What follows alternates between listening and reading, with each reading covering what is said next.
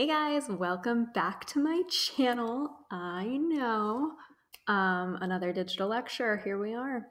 You may notice there's now a me in the corner. I don't know if that's going to make me feel more or less awkward. I guess we'll have to see. Um, but welcome. So today we're going to start a new chapter. Unit H is gas exchange in mammals. So the lungs, how we breathe. Um, we talked about hemoglobin, how it carries oxygen, how it carries CO2, and now how that stuff gets in our bodies. Okay. let's let's see. Ooh. Ooh, so first of all, if you have access to a printer at all, you probably can get away with not printing the full notes packet. The big, big, big emphasis here is it's like another anatomy chapter, kind of like the heart. So you have to know like where the structures are, like what kind of cells are there. So we do have this big, beautiful, nice, complete note packet that is obviously big, beautiful, and nice, but mm, like medium necessary. It's probably not too, too hard to take like handwritten notes on this one. But what I would recommend printing, if you have any capability to, are the diagrams.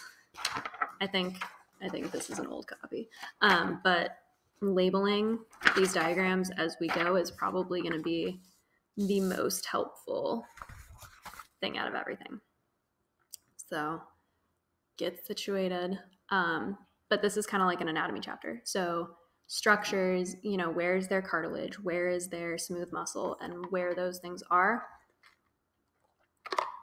is really the only thing, like the big thing that we're looking at for this chapter.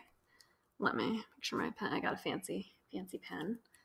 Make sure my pen pen looks good. Okay. All right. Basics. How we get to the lungs. We got our nose, our pharynx is the back of your throat. So if you like stuck your finger in your mouth, you'd touch your pharynx. Um, larynx is just below that. It's also your voice box. Uh, yeah. yeah. um, trachea is in your chest. Big cartilage tube that's going to branch into bronchi. Bronchi go to your lungs. So it's just a bunch of tubes to get air to your lungs. Um, oh, just to kind of remind us. So we've done the heart and everything. So this kind of brings us to like the alveoli. These capillaries is where we're getting oxygenated when we said before. Got a 19 pound cat that's drinking water. Um, he's so big. Um, anyway, so we've kind of talked about how capillaries gas exchange. So these capillaries right here is where that happens. So this is when we say, you know, it goes to the lungs and gets oxygenated. That's what we're talking about now. Oh, okay. So the respiratory system, whole system is that, which does gas exchange. So you have oxygen to do. Oh, I'm in the way. Uh, cell respiration. So big system respiration, gives you the gas for cell respiration.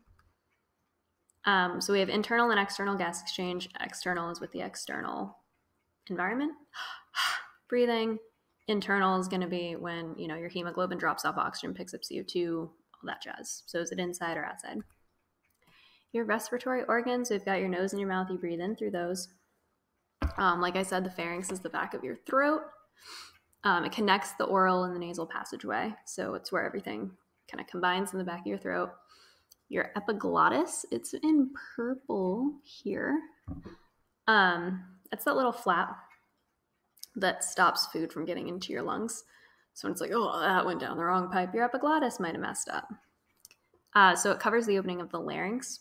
So when you swallow, it kind of forces that flap down, and that's how food doesn't get into your lungs. I was going somewhere with that. Doesn't matter. Okay, if we keep going, larynx is in the front here. It's your voice box. So like uh, uh right in there. Um and it's continuous with the trachea. So like the larynx and then once it gets into your actual like chest cavity, it's your trachea, but it's the same tube. It's made of pretty much the same thing. Um, and then the bronchi branch into your two lungs. So just a continuation of that tube that's going to get narrower, and narrower, and narrower. Okay, so the bronchi branch into smaller bronchi, branch into smaller, kind of like veins and venules and arteries and arterioles. Branch, branch, branch, branch, branch, bronchioles. Bronchioles, once you get to the super tiniest, they terminate or end in alveoli that are these small little air sacs surrounded by capillaries. So they literally are little like balloons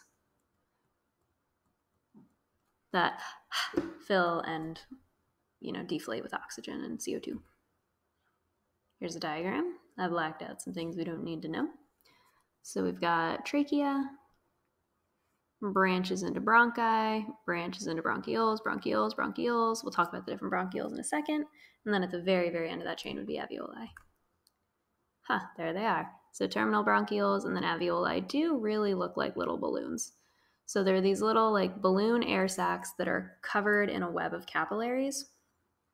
And that membrane between capillary and alveoli is where the blood is going to drop off CO2 to exhale. and the air in the lungs, the oxygen is going to diffuse in. So that's where, you know, blood becomes oxygenated in the lungs.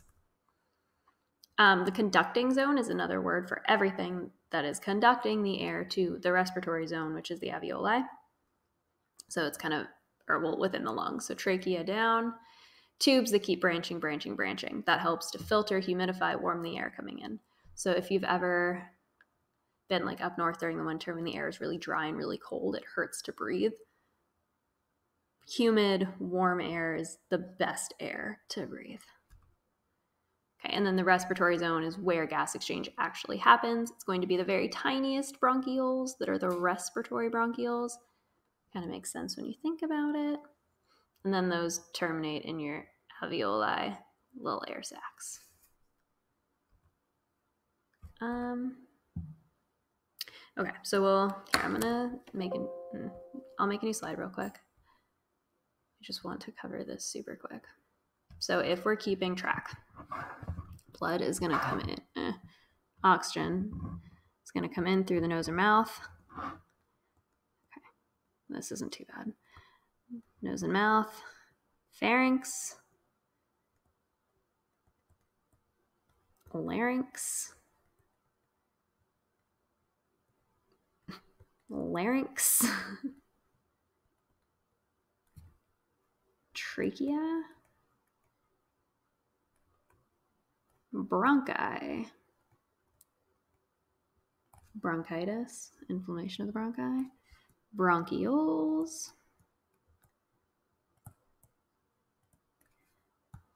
alveoli.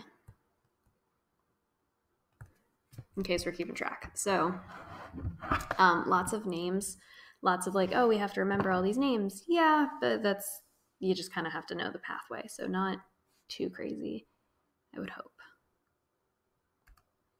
Okay, so starting at the top again. Um, so your nasal cavity, your air is going to pass through your nostrils, connects to the pharynx in the back. The floor of your nasal cavity or your sinus cavity is formed by the hard palate, which is the roof of your mouth. Eh, eh, eh. You touch. You can touch it with your tongue. Um, this is so weird. Um, so it's the bottom of your nasal cavity. It's lined with ciliated cells and goblet cells. So ciliated, we've talked about cilia, little finger-like extensions. It's going to help sweep mucus, debris, dust, kind of all this stuff down into your pharynx so you swallow it. Gross. Okay, so some fancy cell names. Ah, I give this two stars. So First, we have ciliated columnar epithelial cells. Big name, nothing too fancy. Ciliated has cilia. Columnar, columnar refers to their shape. They're just long and skinny. Columns.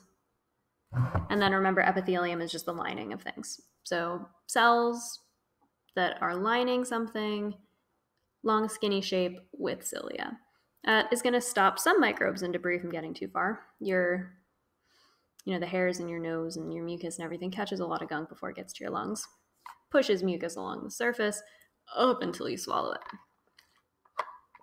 The next one is our, our squamous cells. Squamous just means flat. So in this case, we could say that squamous epithelium cells are just not ciliated. They don't have, you know, these little little hairs. None of that. They're just flat. So squamous literally like means flat.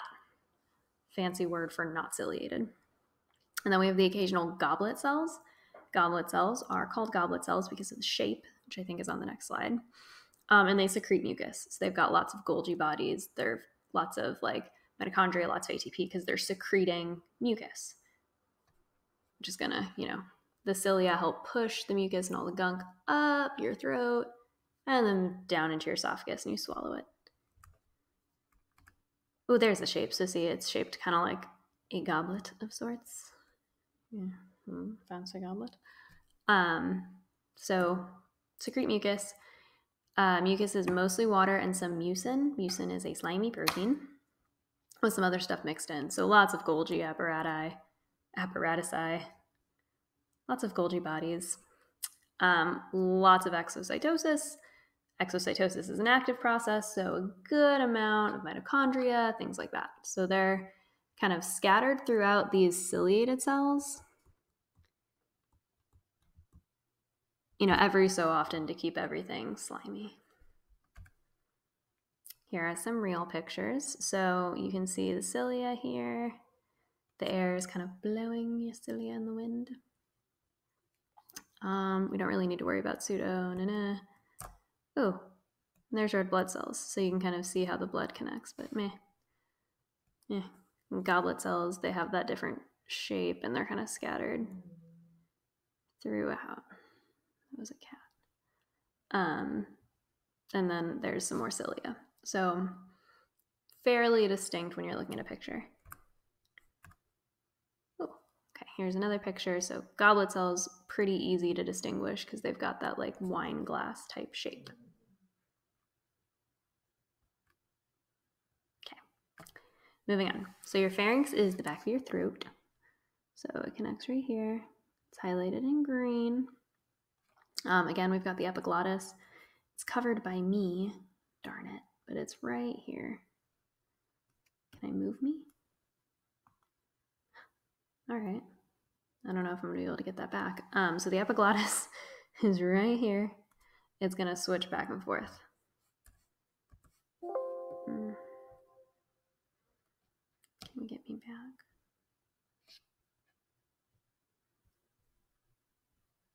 Oh, and we're back. Okay.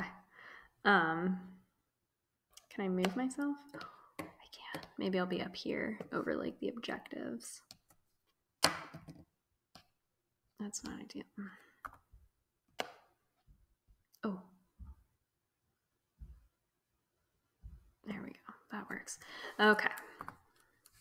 So moving back now. So epiglottis is there. Um, pharynx, again, more squamous, more ciliated epithelium, goblet cells, so on and so forth. Then your larynx is your voice box. It's in the front, so I'm not going to do it again, but like right here. Um, vocalizations, that's how we talk. Voice box helps open your airway. And again, the epiglottis, that switching mechanism, food or air, food or air. Um, if we're looking at this diagram, so the larynx is this like boxy shape up here, and then it's going to lead into the trachea, and then primary bronchi, bronchi, and then eventually, you know, bronchioles too. So this is all just branches of one tube that's going to get smaller and thinner and smaller and thinner and smaller and thinner until we get to the very end. All right, so then trachea, your windpipe. It's more like the bottom of your neck and actually in your chest cavity. So it's below your larynx. Once it gets to the lungs, it's going to separate left or right for the bronchi. Um, it's got these C-shaped rings, so not like a complete circle, but like, you know, C-shaped rings of hyaline cartilage. It's just a type of cartilage. We're not too worried about it. You know, cartilage is in your ear and your nose. So it's flexible, but it's still relatively strong. So that's important because, you know, you don't want to snap your windpipe. You want to be able to like move your neck. If, you know, you had something pushing against your neck, it's not going to break anything. So it's flexible for bending and not breaking, but it's also strong enough that it's going to stay open. You know, if you lie on your back, you're still breathing. So it holds it open without being like super rigid. Um, trachea still has goblet cells, smooth muscle, smooth muscle. Um, so it can kind of contract or widen.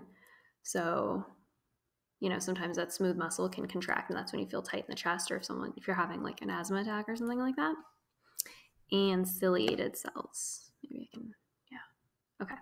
And ciliated cells, so more cilia. Again, we're trying to keep as much debris from getting into the lungs as possible. All right, so pictures. We've got a real picture and then a nice diagram. Um, so notice that cartilage, it always has these little dots in it. Cartilage is here too. So it's always going to have that kind of dense, darker color, lots of little dots. Um, identifying from pictures is a big thing that we'll have to be able to do. Um, this is smooth muscle, so smooth muscle typically looks like that too.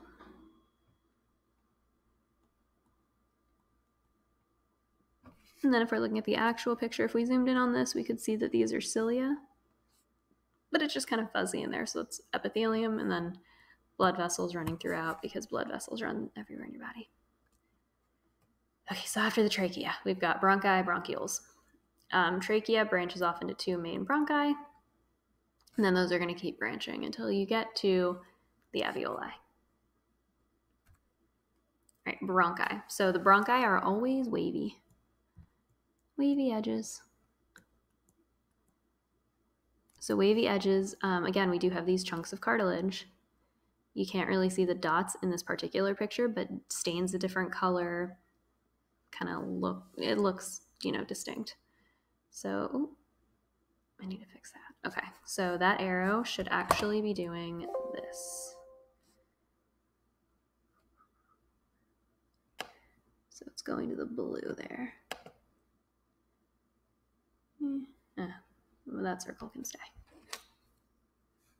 Can I erase it? Nope. Okay. So wavy edges, we've got the circles, um, but again, always the wavy edge. Okay, and then the smooth muscle has that kind of like sheets kind of layered on top of it look. Right there in the picture, it's, or the like the real picture, it's just kind of a lighter layer under, I'll do green. So then bronchi and bronchioles. Um, we don't have to know all these names per necessarily. So trachea, bronchi. So here, trachea, bronchi. Not too worried about it. Bronchioles, terminal bronchioles, and then respiratory bronchioles are the tiniest ones. They're the ones that are connected to the respiratory surface, which is the alveoli. So I guess pretty much everything except, except segmental bronchus. Um, okay, so then alveoli, again, air sacs covered in like a spider web looking casing of capillaries, and that's where those gases are going to diffuse across those membranes to drop off CO2 to be exhaled, pick up the oxygen that's being inhaled. So they're hollow air sacs. You can picture them like balloons. At the end of respiratory bronchioles, um, you have over 300 million alveoli in your lungs. So this comes back to an idea that we've seen many a time before surface area. Lots of little alveoli is better than a few big ones. Surface area, surface area, surface area. Um, total surface area is around 750 square feet. I think that's both lungs. Huge surface area for gas exchange. Um, the gases are diffusing. So remember back to our diffusion chapter, increasing surface area is going to increase diffusion rate.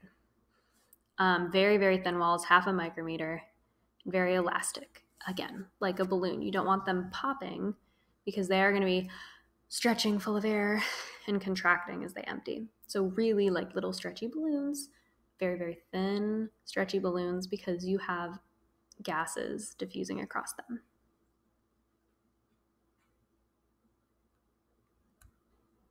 Oh, here's a picture. Um, this is on the diagram sheet. So terminal bronchioles are like the beginning of the branch. Respiratory bronchioles are going to be the tiniest, tiniest branch.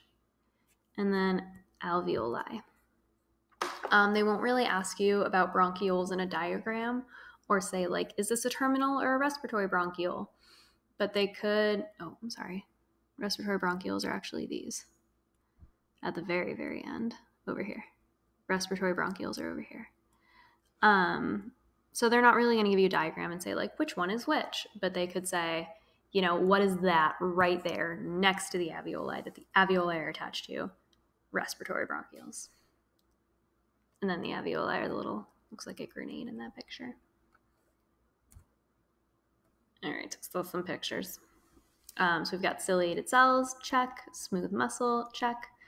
Um, a lot of times in pictures and like real pictures too, alveoli are going to look like negative space when you're looking at cross sections. So like these big like circulary chunks of empty, it's going to be alveoli. Um, so this is like an up and down, and then this is an all the way through, again with the wavy edges. But it really just depends, you know, is there cartilage, is there a ton of muscle, or is there not a whole lot, and then some alveoli. Um, one of your activities later in the week will have to do with pictures too. Oh, okay. So alveoli, again, the empty space. And then we do have, you look closely at a bronchiole, you do have a wave of smooth muscle. Um, bronchi and bronchioles can look very similar. The biggest difference is going to be the bronchi have cartilage and bronchioles do not. So I'll write bronchioles. They're too small.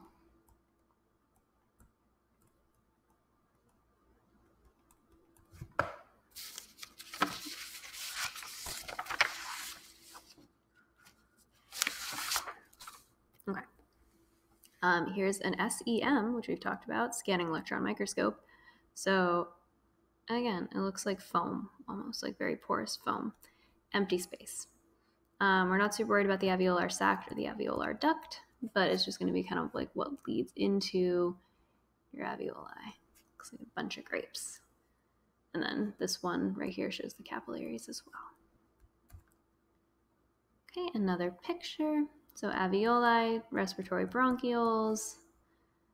Um, again, they can have that wavy kind of edge, and sometimes they're not always like super perfectly circular either. And then lots of negative space, lots of empty white. That's the alveoli. Ooh, I'm gonna give this three stars. If you, four stars. um, if you do not have the notes printed out and you like copy one single thing from this PowerPoint, this is probably to be it. What's where is the big point. So trachea, you've got one 1.8 centimeters, so not super big, but not super small either in diameter. Yes, cartilage. Yes, goblet cells. Yes, smooth muscle cells. Yes, ciliated cells. Then as you get smaller, you have less things. So bronchi, a little bit smaller, still has everything though, because we're going to both lungs terminal bronchioles quite a bit smaller so like 10% um, no cartilage just cartilage is too big no goblet cells when you have a really tiny tube you don't want to be secreting mucus into it it's really easy for mucus to clog a tube when it's only a millimeter in diameter so no more goblet cells um, it does still have smooth muscle so when you're when someone's having an asthma attack or something like that that's muscle can still like and make it harder to breathe. Um, and it does still have ciliated cells. So if there is dust or debris that's getting into your bronchioles, there's still cilia to try to sweep it up, but you're not clogging up the cilia with mucus at that point when it's that small. So then respiratory bronchioles are about half that size. Now we're too small for the smooth muscle. Maybe we have a few ciliated cells, but not a whole lot. These are really just tiny, tiny, tiny tubes to get the air through. Um, alveoli, you've got a bunch of them. Very, very thin. This is diameter. So again, if the wall is half a micrometer wide, that means that the walls are only one, so that's 249 micrometers diameter of empty space. So it is mostly empty space. No room for anything, but it is the site of gas exchange.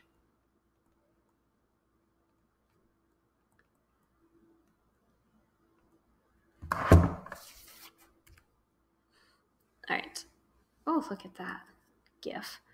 Um, so alveolar walls, single layer, single layer of epithelium, like we said, like half a micrometer, super, super thin, tiny, covered in capillaries. The respiratory membrane is where alveoli wall meets capillary wall. It's the wall, the walls that gases are diffusing through. Um, and then we do have things like alveolar pores as well. And that's going to let things like macrophages and white blood cells and stuff into the alveoli to fight, you know, infections or something like that. So you do have pores that will let bigger things through. This is going to become important when we talk about smoking, which is the next part of this, when we talk about smoking. So let's see if we can wait for the GIF to restart. GIF. Oh, okay. So CO2 goes out, oxygen goes in. It's red now. Okay. Less exciting than I thought. All right. Um, that respiratory membrane is also called the air blood barrier. It's the barrier between the air and the blood. Oxygen from the air that you're breathing diffuses into your red blood cells. Carbon dioxide waste diffuses out of your red blood cells, and then you exhale it.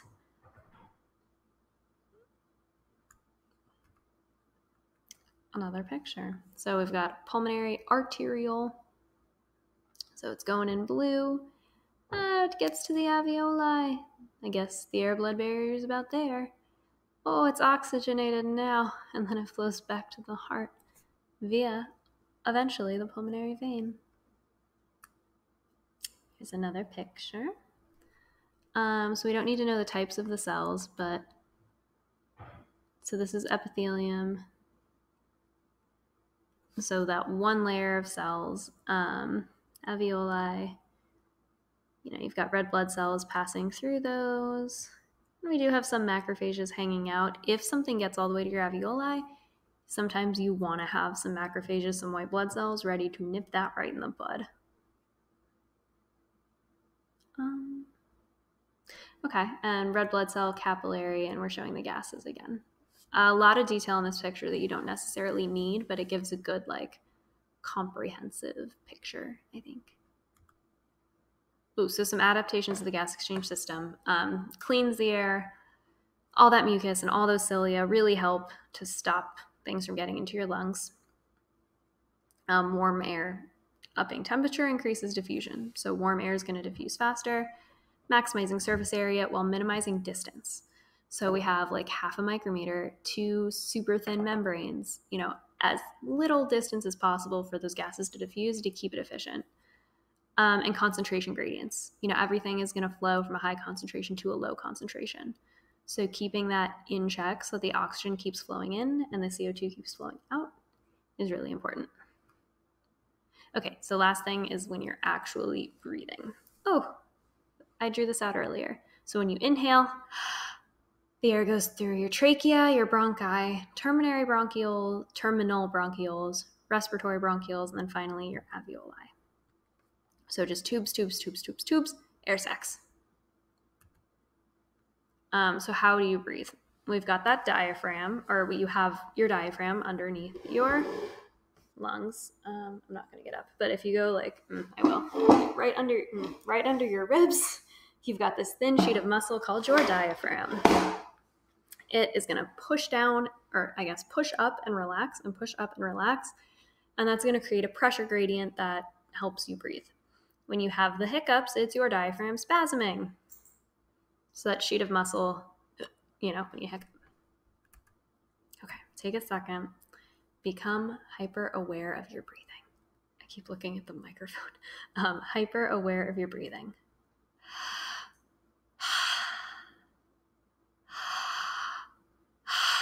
Is that how you do ASMR? Okay.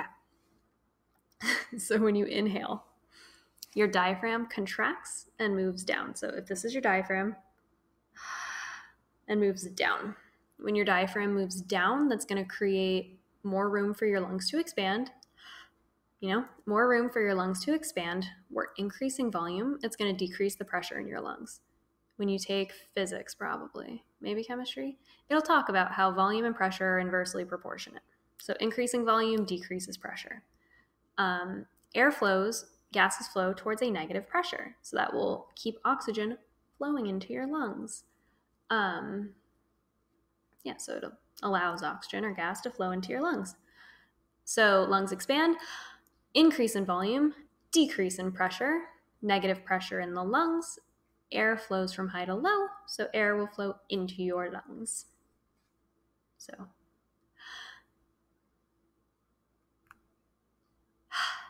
You exhale, Your diaphragm relaxes, moves back up.